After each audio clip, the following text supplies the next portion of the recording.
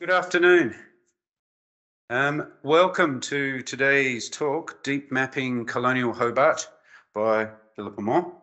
Um, these talks are organised by the professional historians, professional historians of Australia, Victoria and Tasmania branch, and hosted by Libraries Tasmania. Today's talk is being broadcast as a webinar, and we're pleased to welcome those people who are joining us online today.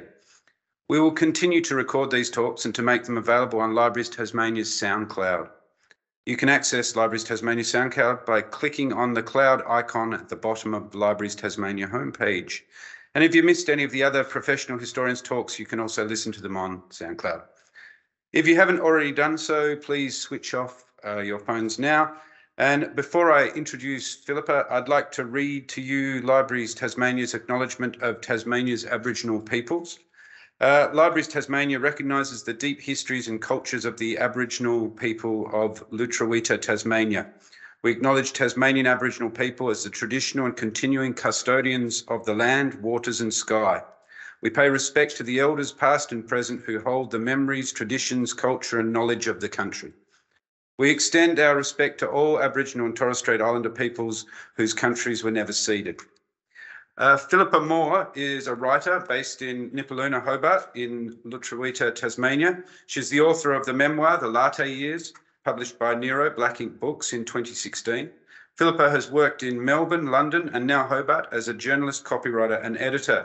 Her writing appears regularly in consumer magazines and international media, including The Guardian, Womankind, Cosmopolitan, and Elle.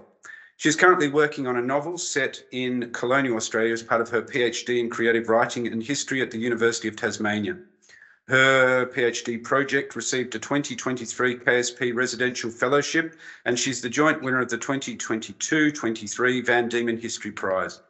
In her writing, and especially in her current research at UTAS, Philippa has very much enjoyed traversing the blurry borders between fiction and facts. Please join me in welcoming Philippa.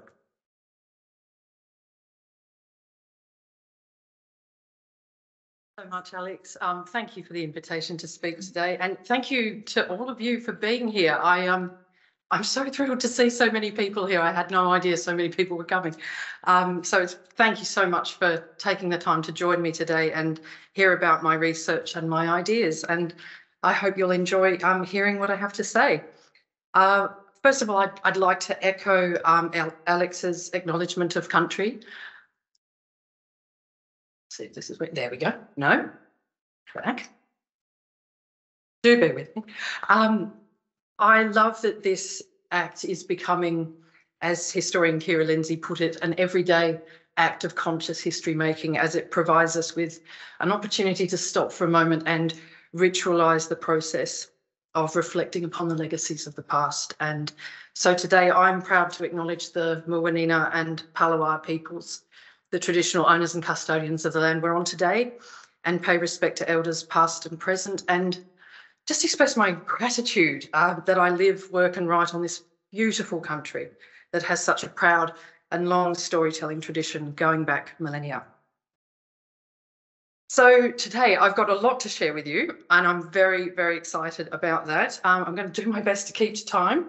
Uh, we have started a little bit late, so if anyone does need to go on the dot of two, that's perfectly understandable. Um, we're going to be talking about deep mapping, which is a methodology I've been exploring and applying in my PhD research. It's a creative and multi-layered concept that has a lot of relevant application in Australia. I'm going to introduce you to Maria if you don't already know her. Uh, and talk a bit about the methods that I've explored in how to write about her and her life, what the practice of that has looked like for me so far, and just to offer some playful possibilities about what methods can be deployed when the archival well runs dry, as it so often does after the passage of a great deal of time and the subsequent loss or destruction of so much evidence. The focus of this presentation today, as the title suggested, is Maria's former residence and workplace, Ingle Hall, which still stands today in Hobart's Macquarie Street and has the distinction of being the oldest extant townhouse and four-storey residence in Australia, as far as I can ascertain in the records. Um, I'm going to tell you about the deep mapping journey that I've gone on. Um, and share a short video essay at the end, which I suppose is my creative response to the building, my, my deep map, as it were. Um, and I'm going to show you how, through deep mapping, I've um, really immersed or tried to immerse myself in Maria's world uh, to access elements of her life that have proved elusive in the historical record and show how that's assisted me in my creative practice. Um, deep mapping is, I think, a really exciting tool that's available today to researchers and creatives um, that invites new multi-layered possibilities, especially when you want to research a life um, that's only been lightly documented. And I conclude that place and space, if that's relevant to your subject, uh, when engaged with, can be a valuable tool for biographical revelation, even if one cannot make the same truth claim as a traditional biography. I found it can be um, incredibly fruitful as a means of connection with your subject in the absence of more literal and revealing evidence. So deep mapping is a very flexible, creative, humanist approach to research and placemaking and storytelling. So um, those of you who perhaps have a more empirical approach might raise your eyebrows a little bit, which is absolutely fine. Um, what I've explored and what I'm sharing today is admittedly a more experimental approach, and it won't be appropriate for every single historical subject. But for mine, which I think demanded a more flexible approach, it's been working very well. Um, and uh, it feels a little scary because this is the first time I've talked about my work um, in this kind of context. So I really hope you'll enjoy hearing about it. But above all, um, I'm offering my research and ideas as an invitation to what else might be possible. Um, as historian Hayden White said, it does not matter whether the world is conceived to be real or only imagined. The manner of making sense of it is the same. So, uh, just to quickly, sorry, just need a little water. Um, just to quickly introduce myself to those of you who don't know me, though I, I think a lot of you do. Thank you so much for coming. Um, I'm a writer based here in Hobart. I'm currently in the fourth year of my PhD in creative writing and history at UTAS, where I'm writing a historical novel based on the real life of Maria Lord, a convict woman whose fortunes were reversed and then reversed again in quite an extraordinary way. Um, Despite her many achievements during her lifetime, it, it is my opinion that she isn't as well known as she perhaps deserves to be. Kay Daniels described her as a character who has barely entered Australian history, unlike her contemporary Mary Reibey. If things had been different, perhaps it would be Maria's face on the $20 note. So I hope my project will go some way in redressing this. Um, this is something I'm really passionate about, um, shining a light on the lives of women who are historically um, obscure and who, as a result of not having a significant archive or not having left anything behind in their own words to, to tell us who they really were, um, their stories are not as much part of the dominant public narrative as they could be. Um, so I'm really interested in how to write about these women in creative and provocative ways and that have relevance and resonance for, for how we live now. Um, one of the aims of my PhD, um, which is comprised of the novel and a contextualising critical commentary, is actually to demonstrate how contemporary women are still grappling with the issues that Maria faced 200 years ago. Um, I've always loved history. I've always loved writing. Um, I have a background in non-fiction, as Alex said, um, but I've always wanted to write fiction. So what I'm doing now is a, an absolute dream come true, to put it mildly. Um, and the reason for the picture at the bottom is uh, I used to do um, a lot of long distance running um, in my 20s and 30s, which I now view as excellent preparation for my PhD studies, um, or just writing a historical novel in general, because you need stamina and a great capacity for endurance. Um, just to indulge the metaphor a tiny bit more, I'm at the equivalent of mile 19 of um, my PhD. Uh, and to be honest, when I ran the London Marathon in 2011, this is the bit I don't remember. So who knows? The end is in sight, but these were definitely the hardest miles. So I've got to keep putting one foot in front of the other for a little while longer. So on to the main event. Between 1811 and 1814, a house was built on Hobart's Macquarie Street. This one here. Over 200 years later, it is still standing. Known as Ingle Hall since the late 1890s, it was the residence of Edward and Maria Lord from roughly 1816 to 1823. The Lords were Hobart Town's power couple of the day. They were the wealthiest citizens of the colony. They owned extensive properties with large quantities of livestock, cargo brigs and retail enterprises, effectively controlling Van Diemen's Land's meat, wheat and rum trades. Maria had primary management of the bulk of their concerns, including a general store and a warehouse, which were also located at Ingle Hall. And Maria was also a former convict, which was something it seemed no one would let her forget. So Maria Risley was born in 1778 in the small rural village of Spaldwick in Huntingdonshire, England.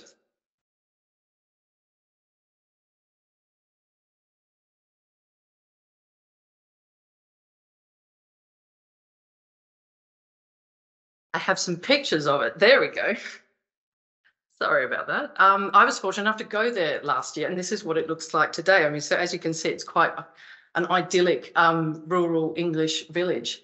Um, it's still very quiet, and it's um, it's in the middle of nowhere. So how she ended up here um, is is really quite a story. Um, she came to Australia in 1804 as a convict, serving a seven-year sentence for stealing goods from her employer. This is a muster um, in 1804, the year she arrived. And let me just pointer. So this is her mansion there. And you can see the 9th of August 1802 was when she was tried, seven years, and it was the Surrey Assizes. Um, so initially, Maria was assigned as a domestic servant when she arrived in Sydney, um, but she was pregnant within a few months and sent back to Parramatta Jail. Things looked pretty grim. She had no money or prospects, and it was likely she'd have to give up her child to an orphanage. But her fortunes changed rapidly when Edward Lord, a rising star in the government in Van Diemen's Land, arrived at the jail seeking a wife. She agreed to set sail with him and her child to Hobart Town, where a new and very different life awaited. And I have to say at this juncture that for Maria to have married a prominent man like Edward was not only fortunate for her, for a while at least, um, but for someone like me trying to write about her 200 years later, I sometimes wonder if uh, Maria had married John Thompson, the father of her first child, Caroline, she might well have vanished forever. Edward Lord was acting governor of Van Diemen's Land following the death of David Collins, and he had great ambitions in the acquisition of wealth and power. As a government officer, he wasn't permitted to trade, but Maria could, using all of Edward's connections and advantages.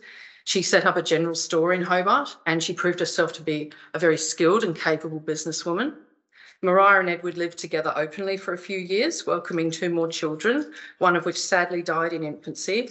And in 1808, Maria received an absolute and unconditional title from Joseph Foveaux, the Lieutenant Governor of Norfolk Island, and she and Edward were officially married in Hobart shortly after that. Over the next 13 years, Five more children joined the family, and Maria expanded and controlled most, if not all, of their business ventures, which flourished. She handled day to day transactions, and Edward was the negotiator, either buttering up the right people in power or trying to, he wasn't particularly well liked, um, or taking long trips back to England, returning with their ships filled with desirable wares to sell in their stores. Edward and Maria were also very much at the centre of Hobart Town society. They regularly threw balls and they hosted visiting dignitaries from New South Wales and abroad. And all of their children were sent to England to be educated as soon as they were old enough. But Edward's long absences, often for years at a time, would have taken a toll on their marriage. And despite her pardon, her marriage to a powerful, well connected man, and becoming one of the colony's wealthiest and most successful women in the process, Evidence suggests that Maria was never fully accepted by society. Even after she was pardoned, William Bligh still referred to her as a convict woman of infamous character. And many years later, in the early 1820s, new arrivals to Hobart Town were scandalised that Mr. Lord, the wealthiest man in the colony, was married to a convict woman. Despite her incredible success, or maybe even because of it, it seemed people were just waiting for Maria to fall from grace.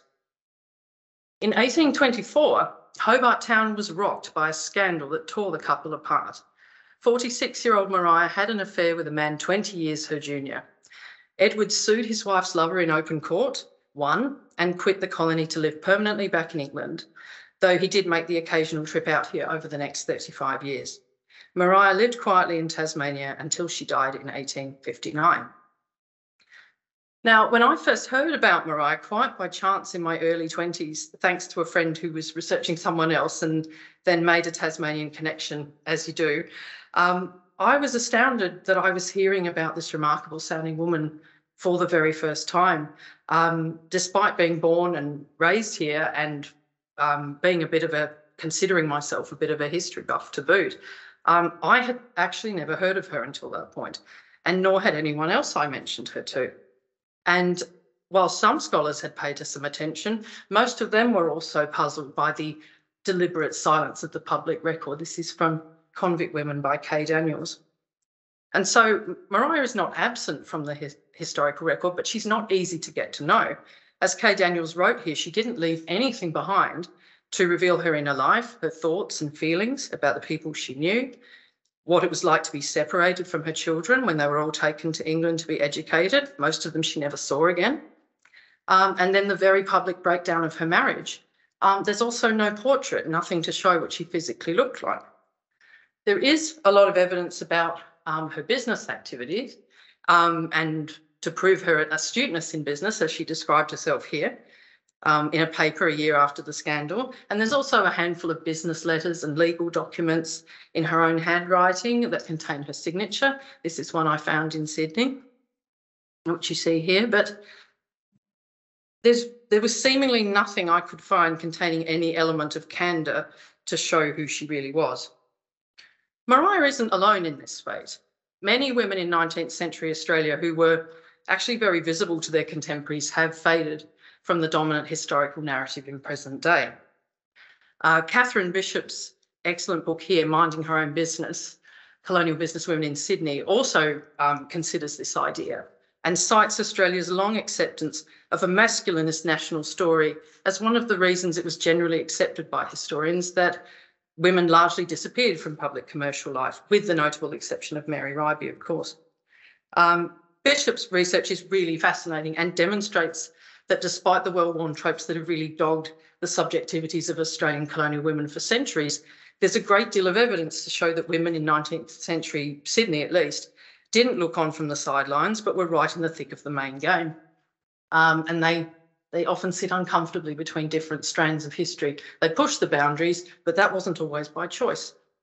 And Maria, living and working in Van Diemen's Land, was the same. She was right in the thick of the main game. But Bishop mostly concentrates on the second half of the 19th century, and Maria was living and working in Hobart in the first half of it, much longer ago. Probably more likely that records simply haven't survived or perhaps were even destroyed. Edward did have a reputation for doing that, apparently. So she has been harder to pin down. My initial primary objective for my project was to find the real Maria. But as time went on, it became clear that adopting a really strict biographical approach wasn't going to work for me. Reliance on Maria's small archive in comparison to, say, her husband's was only going to get me so far in attempting to tell her story. I really wanted and needed the freedom to imagine Maria's actions, thoughts, and emotions while maintaining the integrity of what I was able to discern from the historical record. Therefore, the use of fiction within the biographic space became the most appropriate method for me to attempt to tell Maria's story, as it is a, uh, to quote uh, literary scholar James Vickers, a space in which lost lives can be recovered and rediscovered. I'm sure many of you know Inga Clendinnen's famous, much discussed 2006 quarterly essay, The History Question, in which she argued that history and fiction are on opposite sides of a ravine. So I realise that places me in a rather contentious position, and I am aware of that. But I have come to appreciate that historical fiction and hybrid forms such as speculative biography can achieve great strides in the negotiation of archival silence. The novel I'm writing is probably closest to this concept, fictional biography, which has at its goal a fuller, more vivid and intimate sense of the subject person than the facts can relate. My novel reimagines the life and inner world of Maria, drawing on documentable evidence where it exists, both to inform the narrative and to call attention to how women's histories are written or indeed not written. It would be fair to say that until fairly recently, Australia suffered from, to quote Babette Smith, a major distortion of its convict history, where the initial flourishing of a society that included convicts and allowed them to build successful lives as citizens was mostly forgotten by the early 20th century. So it isn't entirely surprising, perhaps, that Maria and countless women like her faded from public view over time. I'm really glad to say this imbalance has been significantly redressed since I first became interested in Maria's story, particularly by many female historians in this country who have re-engaged with this period and uncovered fascinating stories of women who were previously all but lost.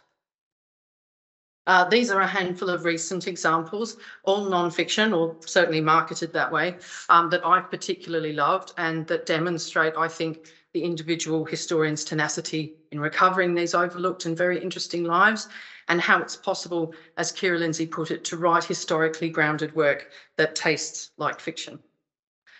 Um, there's also this excellent book.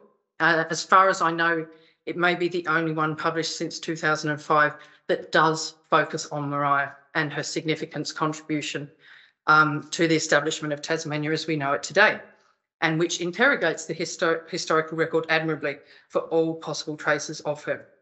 Um, Alison Alexander has also made full use of the surrounding historical and cultural context of the early days of Van Diemen's Land as well. So it makes for fascinating reading, this one. Um, Alexander acknowledges too the sparse nature of Maria's archive and occasionally even makes her own speculations as to what may have transpired where there are gaps in the official record. But even corruption and skullduggery, as thorough as it is, does acknowledge its limitations in that who Maria and Edward Lord truly were and the undoubtedly complex nature of their characters is almost impossible to determine because so little written by them survives. Even Maria's name is sometimes hard to find. The links between her and the businesses and family she created faded, worn thin, even violently severed. As you can see here, um, this is from the, the library's collection. This is her son John's journal. Over here, something has literally been cut out.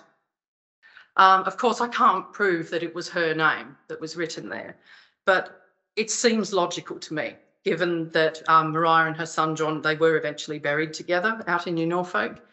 And this also seems emblematic of how information about and links to convict ancestors were still being erased at a personal and family level well into the 20th century. For someone who played such an interesting role in the founding of Tasmania as we know it today, it felt reasonable to me that Maria's story should be more well known. And on a personal level, I identified so strongly with her, with this woman who appeared to be to have been greatly misunderstood and underestimated during her life who had displayed so much courage and resilience in the face of hardship and prejudice, who had never been granted absolution from her past mistakes. I was moved to find a way to make her life and achievements more visible. And because I wanted to know her, it followed that whatever I did should be based on as much of the truth, which in itself is always subjective, as I could find. But after nearly a year, I still had only the same few facts to go on. And you know, when you're doing a PhD, you start to panic a bit when that happens. So this challenging realization prompted me to undertake a wider and more experimental approach to my historical research for my novel. I was really inspired by the work of Australian scholars like Donna Lee Brien and Kiera Lindsey, who've done a lot of fascinating work in creative history, where, uh, to quote them, historical research is brought into conversation with creative practice to provoke new methods and push disciplinary boundaries to allow for deeper truths and new questions. And I've also been really inspired by Ann Curthoys and John Docker, who wrote this in their excellent book, Is History Fiction? Um, and I really see myself working in, in this space, in a space that's inventive and self-transforming. Um, and I hope I'm creating a work that's very much grounded in archival research, uh, that I hope is pleasurable to read and accessible, and that helps people to think about Maria either for the first time or in a new way. I'm not trying to rewrite history, just disturb it slightly, repositioning this particular woman's experiences. So on to Ingle Hall. This was the moment the project became truly alive for me. I stopped looking for Maria in the library and turned my attention and curiosity to the streets of Hobart and beyond. The more I walked, observed and listened, the more I realised that places and buildings can also be historical evidence, archives unto themselves. They can leave clues and ask questions that have many or no answers. Echoes of Maria are everywhere in Hobart as we know it today, and the most notable in my experience resonate from Ingle Hall. Uh, like I mentioned, I was really lucky last year um, to widen the geographical scope of my search for Maria when I made an unexpected visit to her birthplace, um, as well as what remains of the old jail in London. Oh, no, that one. So this is what remains of the um, Horsemonger Lane jail in um, in London, and we visited that, and that's Edward's grave there. We had to pour water on it, and we had to pull a tree off it as well because it's um quite overgrown and hasn't been visited for some time. Quite in contrast to Maria's memorial in New Norfolk. Um, I've been to various sites in Sydney and Parramatta as well, um, relevant sites around Tasmania, including Bothwell and New Norfolk, but I kept returning to the White House on Macquarie Street as the epicentre for where Maria, as a literary character, as well as a historical figure, began to be formed for me. And as such, I'll be uh, concentrating on Ingle Hall today to illustrate my methodological approach. Here at the Tasmanian Archives and Heritage Office, Ingle Hall actually has a thicker, hall, uh, thicker file than Maria herself.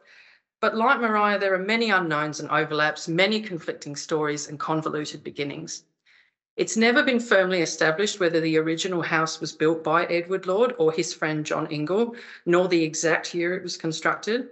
The story of Ingle Hall is also a story of transition, transformation, and shape shifting. Its truest beginnings are even harder to confidently discern, because of course the site would have been something else entirely prior to the arrival of the Europeans. Nipaluna, Hobart was already home to the Muwinina and Palawa Pakana peoples, and the proxim proximity of the river to the site where Ingle Hall now stands might have meant that people regularly set up home nearby to enjoy the resources of the water according to the season. There is evidence that sophisticated land management practices were in place and therefore the site of what is now Ingle Hall and the land surrounding it would have been carefully cultivated and managed in a systematic fashion, creating fresh water and food sources for the people and seasonally controlled with fire. Um, just quoting there from an excellent book, uh, The Biggest Estate on Earth, How Aborigines Made Australia by Bill Gammage. Highly recommend that if you want to seek that out. But historians have concurred that the land where Ingle Hall was eventually built in around 1812, which is, find it on the is here. So according to the legend here, um, number two was granted to John Ingle, but right next door was granted to Edward. And he did like making his own rules. Um, but they have concurred that it was most likely granted to John Ingle. And since its construction, the condition, fabric, and structure of Ingle Hall has been continually altered to accommodate various uses. It has been, among many other things, a brothel, a temperance hotel, coffee palace, as you see here, this is about 1900, a children's library, a gynecologist's office, the original site of the Hutchins School, uh, for those of us joining from elsewhere, um, Hutchins is a private boys' school in Hobart. Uh, the Mercury offices, a museum, as well as a residential dwelling. Architectural studies of the building in the 1990s described elements of Georgian and Victorian period fabric and their condition at key points between 1814 and 1998.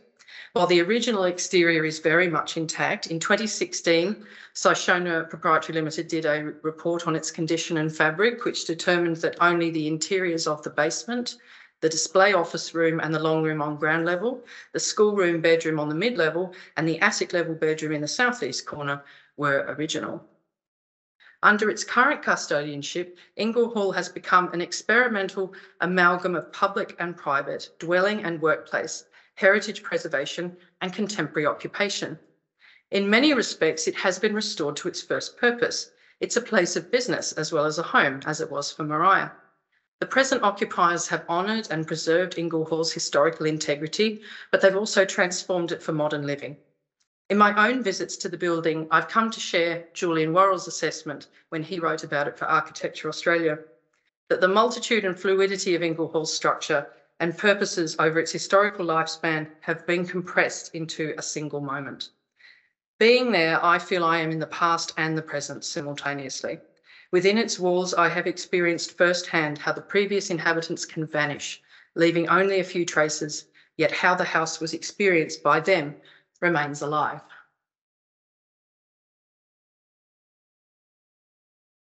So on to deep mapping. This proved an intriguing concept to apply to my inquiries, as deep maps are not confined to the tangible or the material, but include the discursive and ideological dimensions of place, the dreams, hopes, and fears of residents. They are, in short, positioned between matter and meaning. Uh, I'm going to try and give a potted definition of this in the interest of time. Um, the term deep map probably came into use in the 1970s in the distinctive travel writing of William Least Heat Moon. It is the subtitle of his detailed multi-layered account of a small patch of the Kansas grasslands called PrairyErth. But there's evidence to suggest that deep mapping as a concept has actually been around since the 18th century as this, um, sorry for the block of text, but I just thought it was very interesting to share. Um, this introduction from David Bodenhamer um, in a very comprehensive volume about deep mapping that came out last year um, asserts, um, you know, this impulse towards contextualization, um, the idea of city encyclopedias that have in fact been uh, put together for centuries. In fact, we have a wonderful one that's available digitally here at the State Library called the Cyclopedia of Tasmania, published in I think about 1900. Is that right, Clifford? Yeah. Um, I've seen the book many times. I haven't seen it in person. I've only looked at it digitally, but it is amazing. So anyone who's interested in, um, you know, sort of Victorian era historiography, um, I would really recommend checking that out. You know, just gathering up the history and the statistics that were available at that time. It's a fascinating document. And then, of course, we have theatre practice scholars who are interested in the idea of creating work where the past feels like it's unfolding in real time. You know, these are all really interesting elements of this methodology. What is a deep map? It's a detailed multimedia depiction of a place and all that exists within it, not strictly tangible, includes emotion and meaning. It's a process and a product, creative, visual, open, multi-layered, ever-changing. Where traditional maps serve as statements, deep maps serve as conversations. And I really like um, this definition as well from Maureen Engel. Um, and again, just this idea of opening up to questions, having a conversation with all the layers of a location that hold human history, memories, connections, energies, voices, identities, and narratives. It is immersion in a fundamentally subjective space where both the historical and the contemporary can be explored.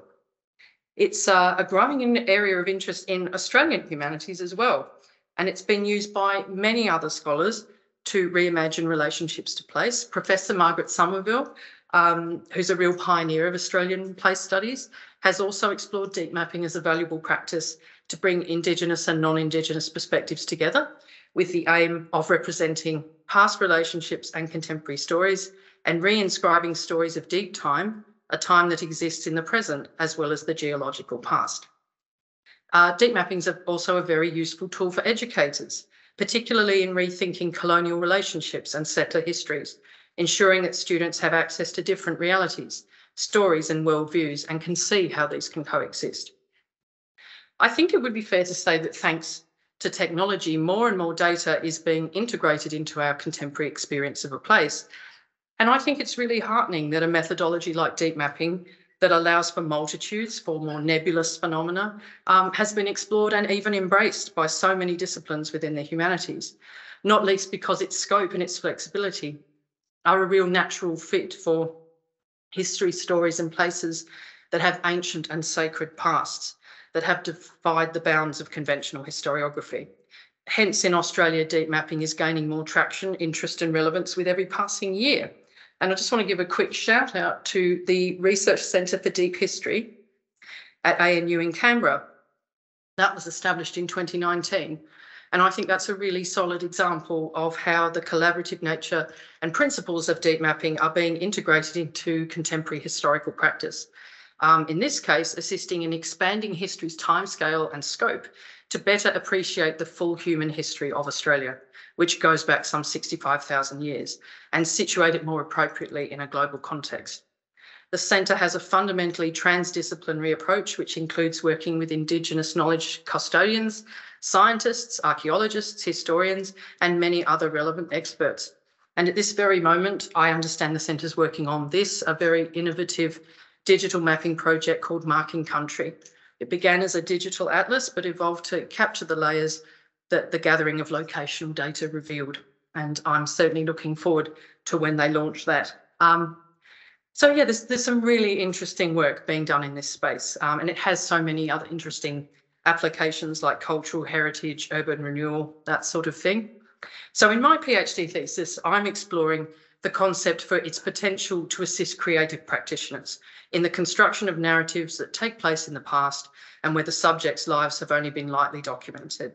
How we might search for a person in the spaces they inhabited that still exist beyond what might physically have been left behind. How we might dive within, as the filmmaker and transcendental, transcendental meditator David Lynch might put it. But big question, of course, how is this actually going to work in practice? There's a lot of scholarship on the topic, but I haven't really found an instruction manual for how to do a deep map. How could I combine the obvious strengths of geographic understanding with the focus on the ineffable, the irreducible, and the particular? And most importantly, to quote Hugh Trevor Roper, how can one possibly do this so the result is readable? So at present, Ingle Hall is both a home and a workplace, much like it was for Maria, and the current inhabitants have gone to great trouble to preserve all the original features they could find.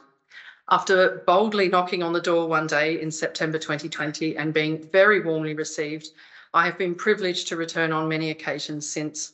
And on one visit, I was invited to view the basement, which is one of the few remaining original features of the house, and it's where Edward and Maria had their general store in around 1816. And according to this advertisement, they had seven casks of Virginia leaf tobacco out the back.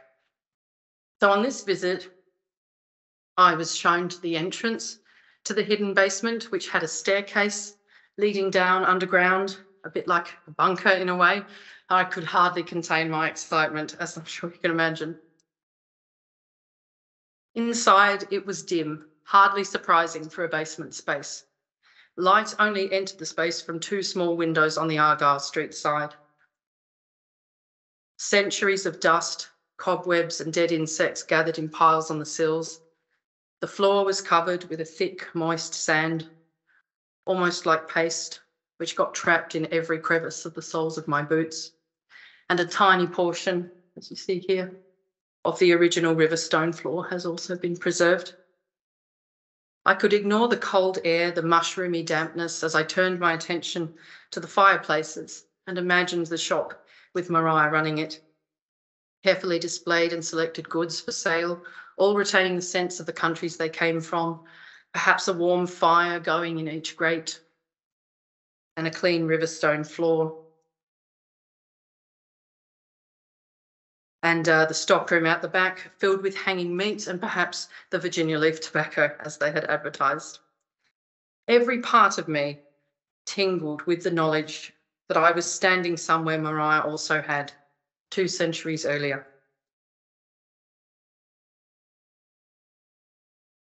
I've been very honoured and privileged to be able to do some actual writing at Ingle Hall too, thanks to the generosity of Timothy Hill and his colleagues. In my own office, I usually write with music, but at Ingle Hall, I listen to the house.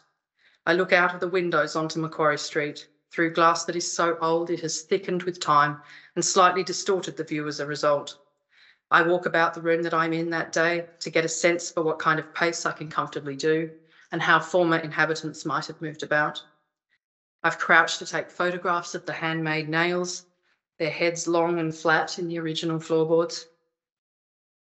I note the way the stairs sound when someone walks up or down them, imagining the echo of shoes, feet, voices travelling up and down, the swishing and scratching of long skirts on the floorboards 200 years ago.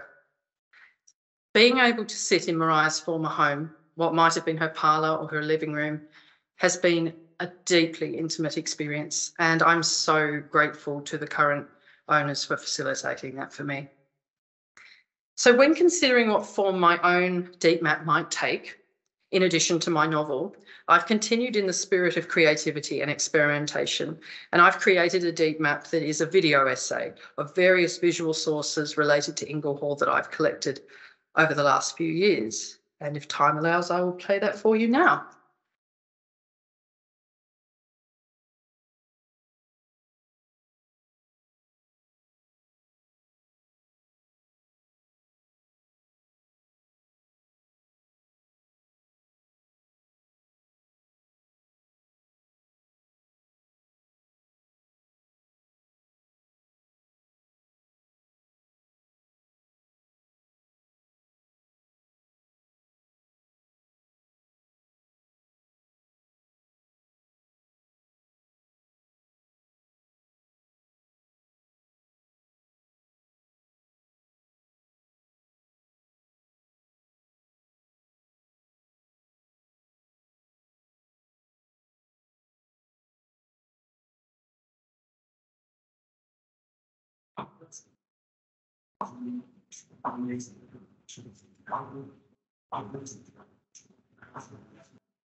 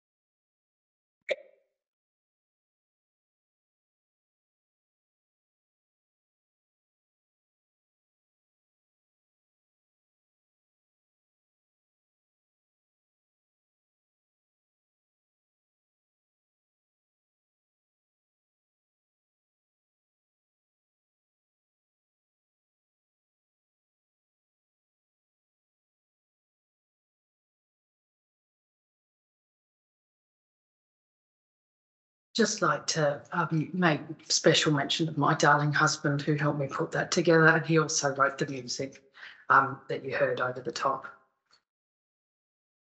Um, we're just about at the end now. So um, throughout the process of deep mapping Ingle Hall, it didn't surprise me that I've unearthed more stories, more unknown lives. With each visit, as I strain my ears to hear traces of Maria, another voice inevitably pipes up and asks me to tell their story too. Every time I sit down to write in the house, I am overwhelmed by the number of lives it has seen and held, and why and how only some are remembered, the rest swallowed up simply by time. Despite making great strides and feeling better acquainted with Maria, there were no lost memoirs found behind a bookcase or a hidden portrait under the floorboards of Ingle Hall. The romantic in me so wanted that to happen. And if I were a novelist seeking convenient narrative closure, I might have freely invented such things. But instead, Maria remains, strictly speaking, a mystery. However, my engagement with her former home and workplace, the site of so many important moments in her life, has really helped me to understand her more. She is now a three dimensional person to me, a character I can see and hear. I have sat in the rooms of Ingle Hall alone with modern life happening all around me and felt the loneliness and longings of the woman who lived there two centuries ago, felt her ambition and drive, her anguish and her humiliation at her mistakes. Developing this approach has helped me understand that just because a name or a likeness is not committed to paper, or if it was, it no longer exists, that does not signify that these people are unreachable and unknowable 200 years later. What at first seemed fanciful now feels like a methodology with a solid scholarly basis from which the stories of many more unknown and overlooked people from history might be able to be told. And I think we're in a really exciting time where we can think about and explore the past and the lesser documented lives of the people who lived in it in different, inclusive, and creative ways. Thank you very much.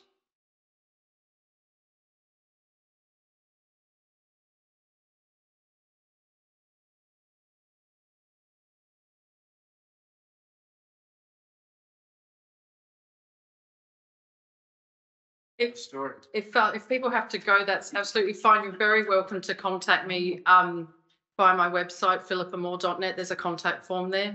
I'm happy to send the references that I mentioned to anyone who's interested and, uh, yeah, come up and talk to me afterwards if you like. Thank you so much for being here. And thank you to people who've joined us online.